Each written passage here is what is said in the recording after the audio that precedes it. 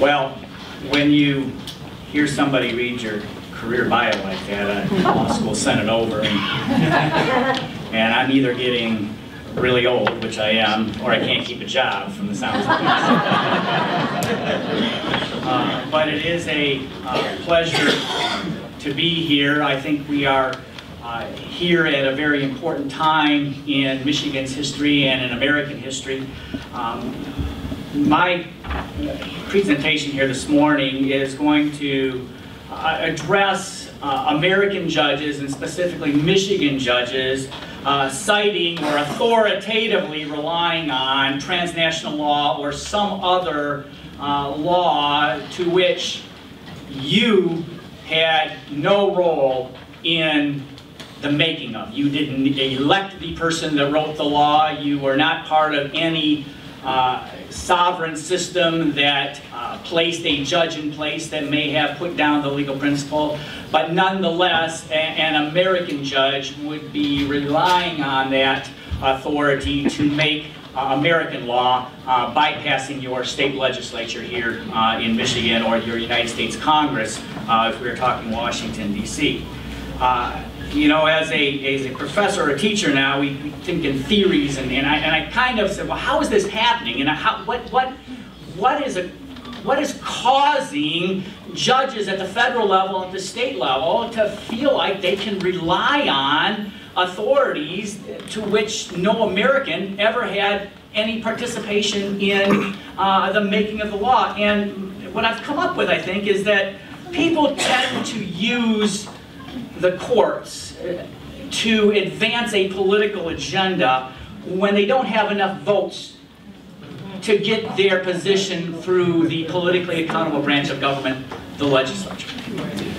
Now, I look around the room and I see a lot of conservatives here, and, and, I think we should be careful to understand this is a bigger issue. This is not a Republican or a Democratic issue. This is not a conservative or a liberal issue, because it, it, historically in the past, you know, we conservatives have from time to time used that same technique, not using international law, but used the technique of the courts uh, to advance an agenda. But, but what I want to focus on today is how dangerous that is to constitutional democracy. What do you call a person who has the power to make law that will subject the citizens by force of law and punishment, and then the person that makes that law isn't accountable to the people? Either that or a judge these days, I guess.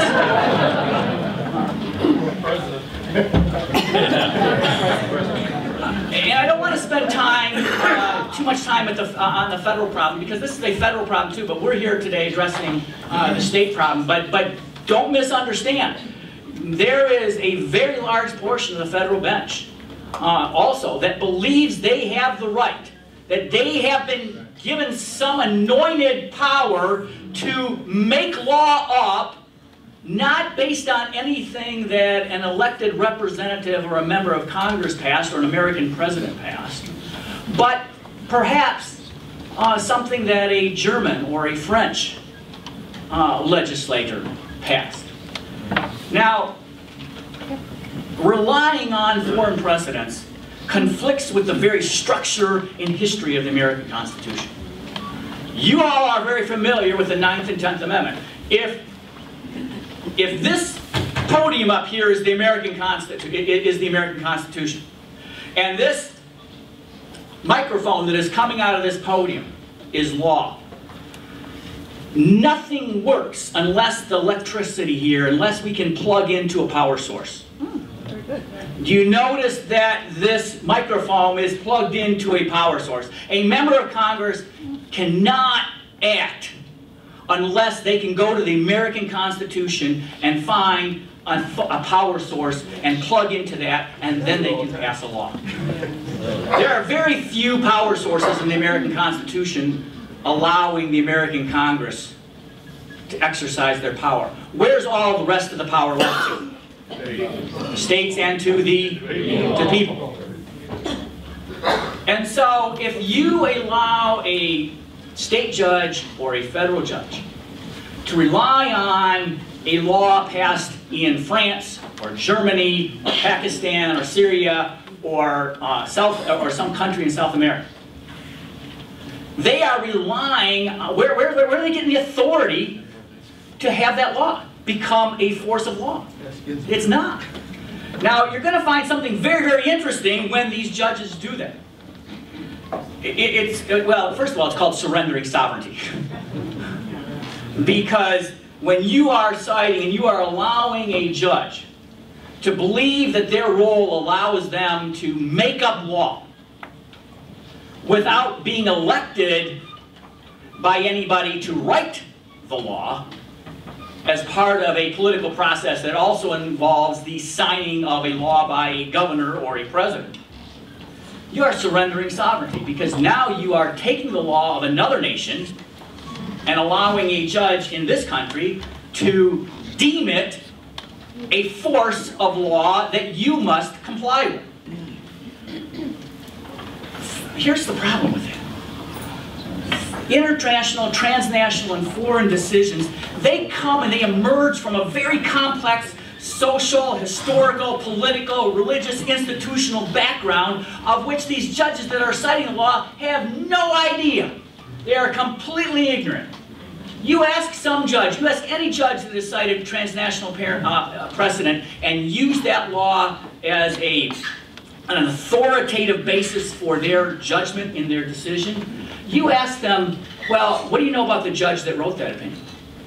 Were they appointed by the people? Is it a dictator? You know, how, how is the process? What is the authority of the judge there?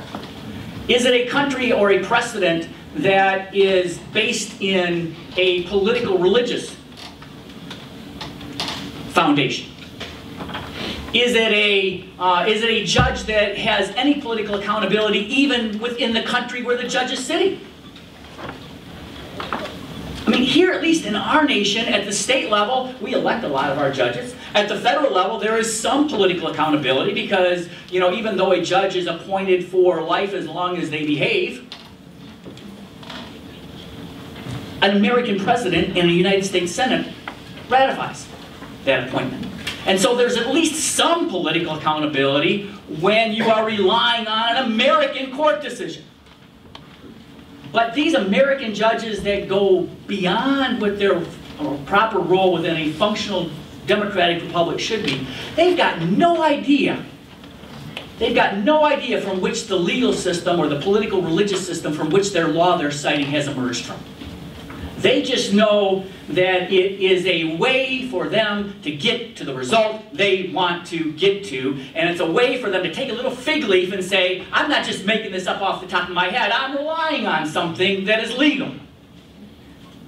That is the surrendering of sovereignty, and it is a very, very large step toward dictatorship. Decisions rendered by judges sitting in international courts or courts of other countries outside the U.S. Uh, are outside the U.S. democratic tradition. judges of foreign countries are rarely, if ever, if ever, the product of an equally democratic tradition to the one of which we are familiar with. But yet our American judges feel free to cite them.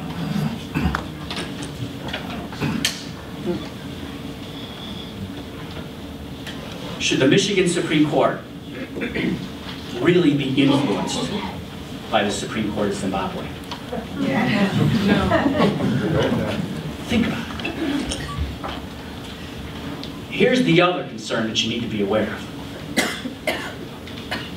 called cherry picking. I don't know. I, I, I, I, was I was not a very good basketball player. I sat on the bench most of my high school career.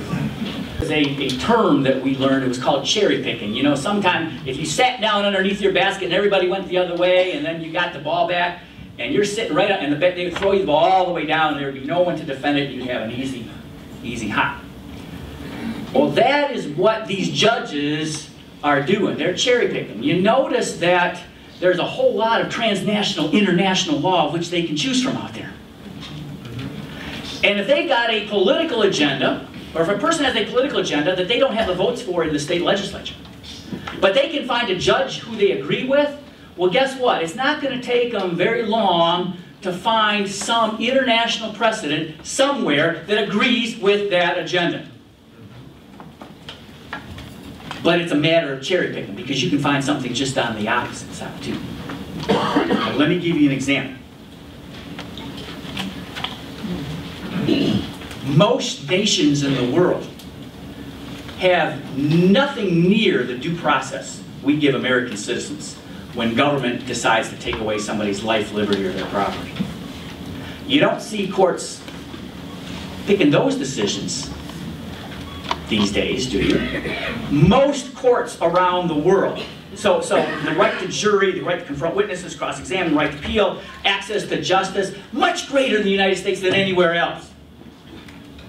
So why aren't we relying on that transnational law?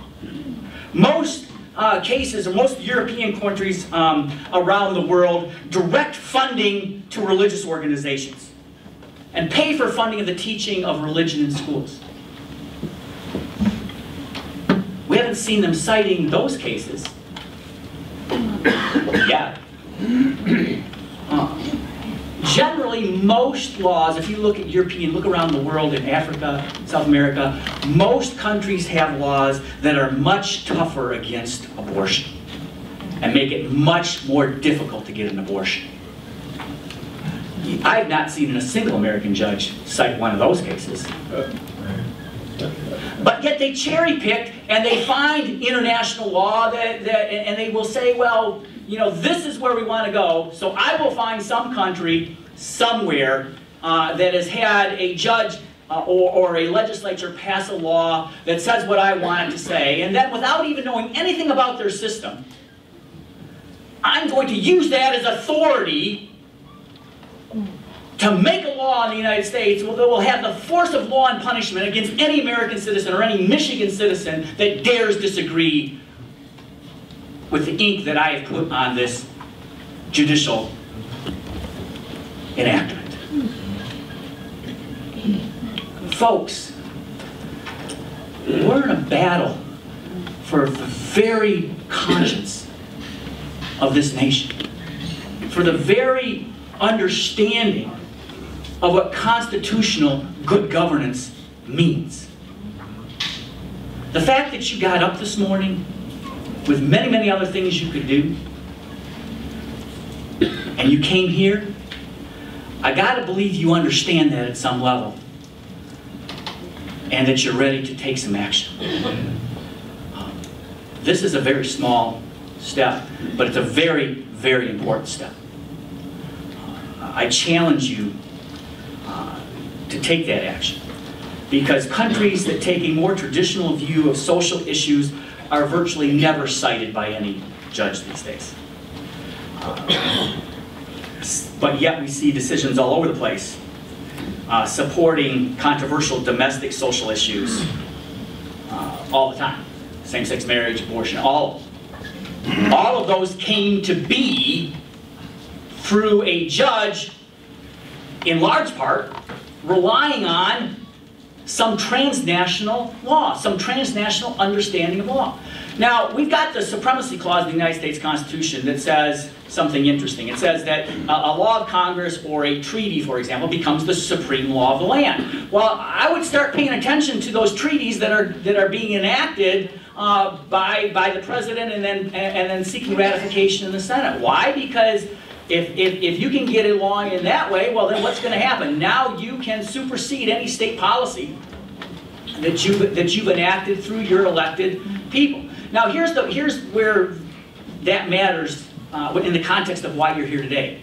Even when we have been able to stop treaties that are that are a violate that would interfere with your right as a as a Michigan resident to make your own law, even when we've stopped the ratification of those treaties in the United States Senate, guess what happens? They go find a friendly judge. And, and then they tell the judge, look around the world.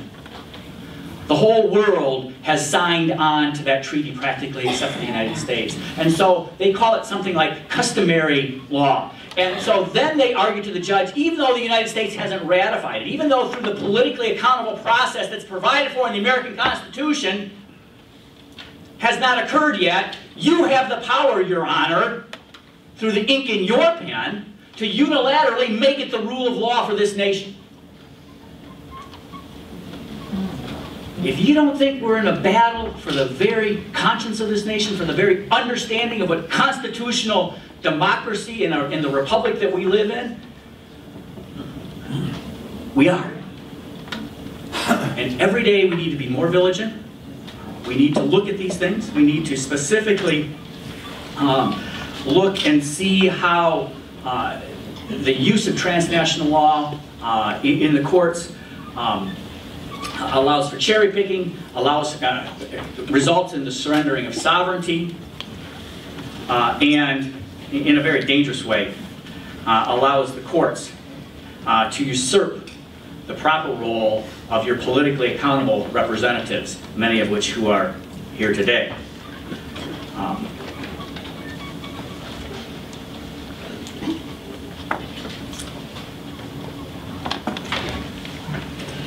a couple of final points.